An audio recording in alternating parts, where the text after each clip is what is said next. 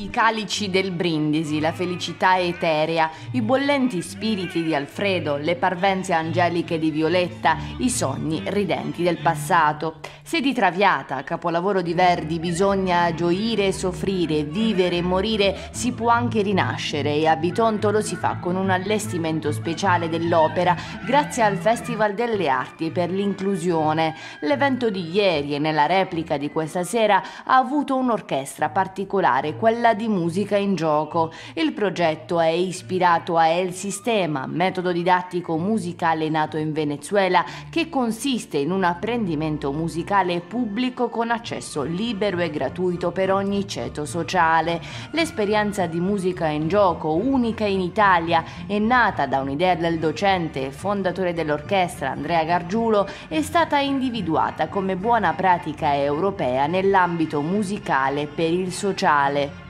Sì, sì, una traviata davvero meravigliosa con questa orchestra sociale, giovanile, musica e gioco, nata nove anni fa.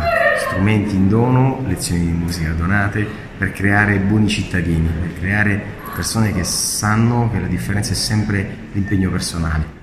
I buoni cittadini del maestro Gargiulo, di età compresa tra i 12 e i 19 anni, anche con diverse abilità, problematiche sociali e disturbi dell'apprendimento, sono stati diretti dal maestro Renata Russo, coadiuvati da studenti del Conservatorio Niccolò Piccini di Bari ed accompagnati dal coro lirico Città di Bitonto diretto da Pino Maiorano e Anna Lacassia. Abbiamo il gruppo storico di musica in gioco che quando è nato fu segnalato per piccole sciocchezze o magari disturbi dell'apprendimento o abbiamo anche alcuni ragazzi con diverse abilità e poi ragazzi che erano innamorati della musica e come tali si sono avvicinati e non facciamo le orchestre ghetto, creiamo orchestre in cui la contaminazione e le differenze diventano uh, prioritarie proprio per conoscersi, per uh, imparare a interagire.